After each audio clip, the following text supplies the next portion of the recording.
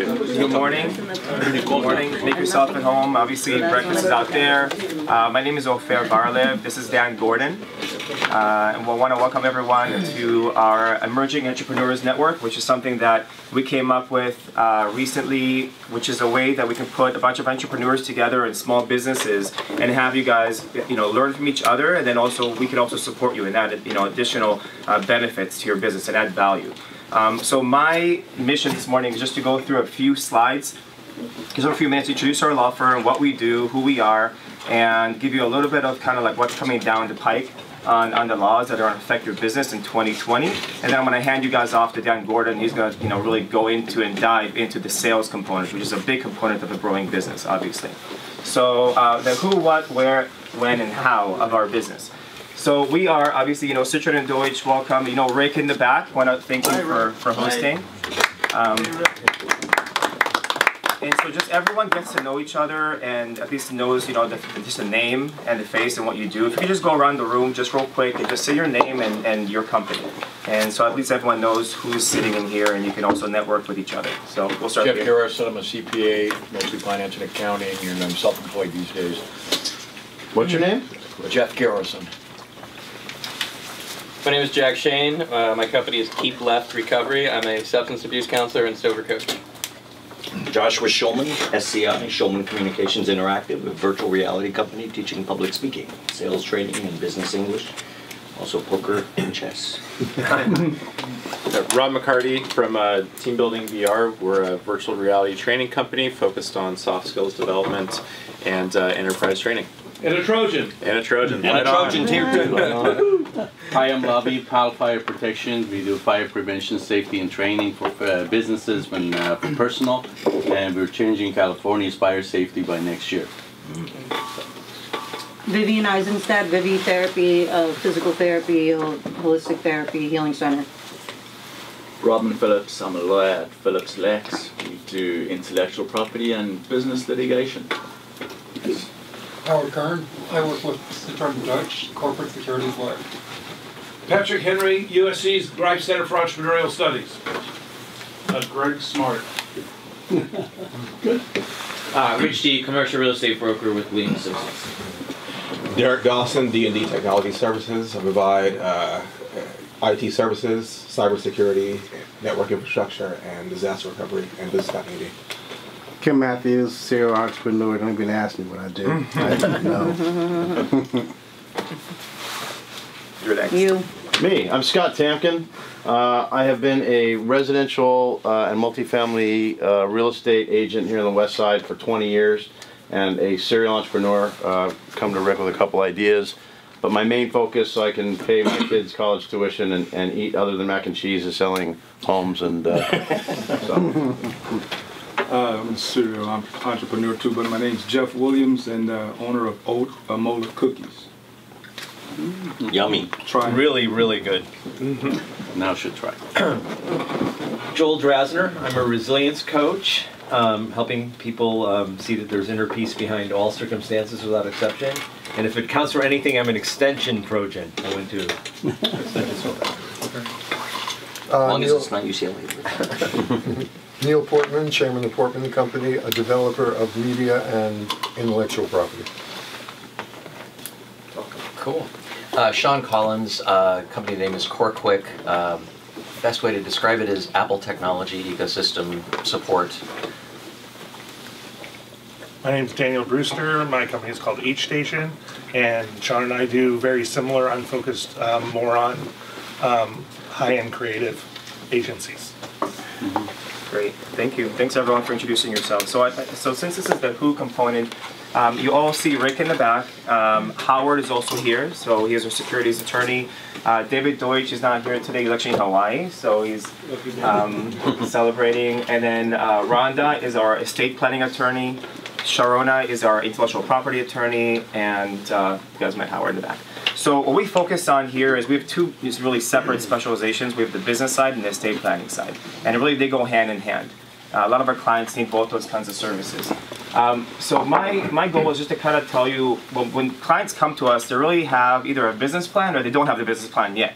So we help a lot of our clients with some of these main ideas, some of these, you know, putting a business plan together, how to improve it, how to really make sure it really gets to the market that they're supposed to get to. We put projections together for, for our clients. We help them with compensation, with equity, you know, how many shares, how many membership interests they need to be giving, you know, their, their uh, co-founders, um, what kind of salaries they need to be paying cap tables. We have, we have an amazing support staff. I know if you guys were able to, to meet some of our support staff in the back. Amazing paralegals who are just you know on it and they do a terrific work. So we they put cap tables together for, for our clients and that's what you need. If someone's going to come and invest in your business. You got to make sure you have the cap tables, everything uh, situated correctly. We put a lot of agreements together, so you're going to have employment agreements. You have to like also worry about because we do live in California, and California is very employee uh, you know, back. So they really like are pro-employee. And contractor agreements, put all types of different contracts together, master services agreements, consultant agreements, uh, vendor agreements. We, we look through hundreds of different kinds of agreements and thousands probably when it comes to, to RIC and, and different uh, company agreements. And then intellectual property. Um, a very crucial component of, of, your business is make sure you, you protect your intellectual property. Does everyone know the difference between a trademark and a, and a service mark? What's the difference? So the difference is that, good question. So there's actually, we got Robin over here. You want to tell us the main difference between a trademark and a service mark? Sure. Um, so a trademark is, is for your business. Um, you can put it on it pretty much uh, regardless of what your business does. But then typically, if you produce goods, tangibles, something you sell on the shelf at Walmart, that'll be a trademark. But for your actual services, you'll have what's called a service mark as opposed to a trademark because you can't attach it to a physical good. So when you give a presentation, like Ofer's presentation up there, it might have a service mark in the corner saying right. Just right up, just right up here. So, because we are, because this is a service, right? Emerging Entrepreneurs Network, as Dan's going to dive more into. Thanks, Robin um, is actually a service. So that's a service mark. A trademark is actually what your good is. So that's just the main difference. Obviously, you want to you also want to copyright uh, what you have, and you also want to have uh, a patent if you're a formula or a methodology for what you do. So you want to make sure you're protected. Other USPTO is actually the nationwide uh, company that really enforces all of this. Um, a few more items I want to make sure everyone knows about. It's really tiny, but basically really big laws coming down the pipeline for California businesses are the main difference between an employee and an independent contractor. AB5 is coming down the line. We had a big Supreme Court case in California that really cut, uh, solidified the difference between an employee and an independent contractor. And so as you go along and, and your business becomes more successful and you hire on more workers, you gotta make sure that California actually presumes that your new worker is actually an employee okay? Unless you prove otherwise, um, that new worker is going to be classified as an employee. And if you misclassify, you can have the Department of Labor, you can have everyone going after you. Nowadays, there are more there are civil and criminal violations for for doing that. Obviously, criminal is more like if you willfully, intentionally misclassify someone. Um, another big area is minimum wage and pay requirements for both founders and employees. So many founders start up and they don't have a lot of money, and they don't have they can't really afford to pay. But unfortunately, California doesn't give you a lot of leeway. On the federal level, they give you a lot of leeway as to like whether you should be paying the founder, the co-founder, anything up front because you don't have that much, you know, that many funds anyway. California is a lot more specific, and although many founders cannot afford it, we always tell them what you should do is just give something, give a little bit of a, a salary so that you meet that minimum threshold, and then you can do milestone-based bonuses later on. But we always encourage our founders. We get calls almost every week um, to at least pay something so it's so it's on there.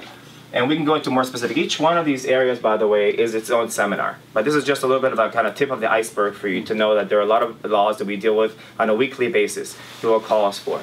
And then finally, um, the near and dear to my heart, privacy law. Uh, the California Consumer Privacy Act is starting also January 1st, 2020.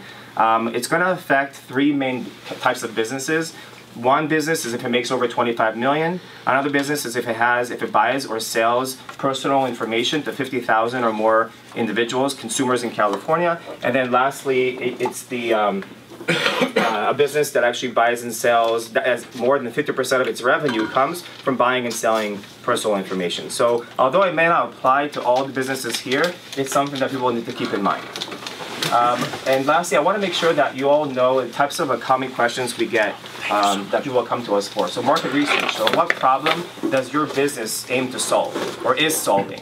And that's something that you always keep, keep in the back of your mind. What's what's an issue that you're really there and people need you for? Well, how are you going to add value to your to your clients? Another is failure to lunch. We have people come in here in our offices, they have lunch with us, or they we, you know meet up for coffee, and they talk to us and they have this great product or a great service. Uh, however, they always seek perfection. Oh wait, let me add this additional component to it. Let me just you know go after this additional like market group. And we always tell them, you know, obviously you want to have your business plan together and your projections, your cap table, all those important components in place, but don't be afraid to launch. Okay, and don't you know have kind of go out there because someone's going to come and like really circumvent you and get to that market in front of you. And intellectual property also teaches us that you have to actually be first first in commerce to, to get that benefit. Uh, finally, maintain your momentum, but do so carefully. So Dan's gonna go into a lot of detail on how to get momentum, how to sell better, how to get after those clients and those consumers that you have. But we're gonna also gonna kind of like wheel you in and tell you that you have to do so carefully. Make sure you have everything, all your ducks in a row, and make sure you strategically choose your management. Rick has been harping on this for years, telling everyone, make sure you know who you partner with. Make sure you know, really know this person. Make sure you choose them well, because that's going to be the make or break of your business. Uh, you want to be diligent in how you pay, as we talked about that, the paying component for employees and founders. Um, and then you also want to be selling without being pushy, and that's where Dan will come in and really dive in and really help us with that. So without further ado, Dan, I'll hand the floor over to you. Thanks everyone for being here.